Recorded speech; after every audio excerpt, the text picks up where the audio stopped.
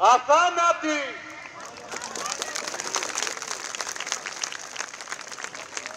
Κέρδη βαμμένα στον φοιτητών το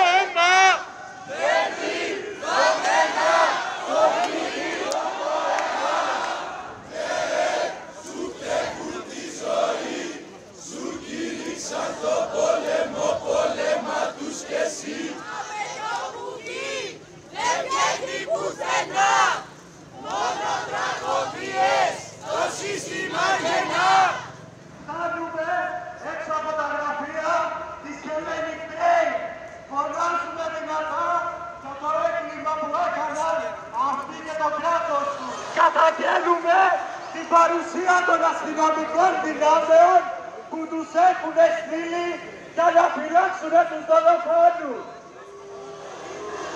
Κέρδη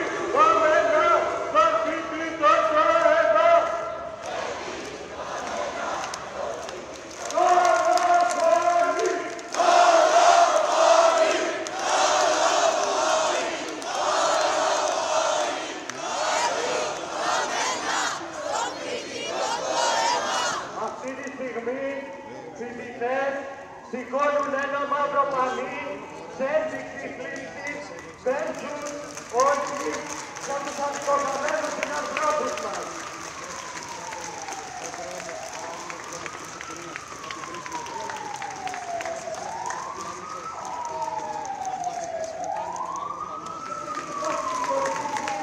Αυτό το έγκλημα δεν θα ξεχαθεί όλων των νεκρών θα γίνουμε φωνή Δολοφόνοι, δολοφόνοι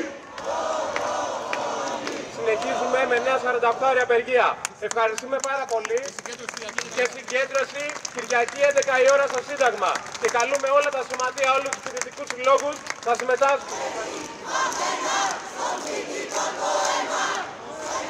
Βαμμένα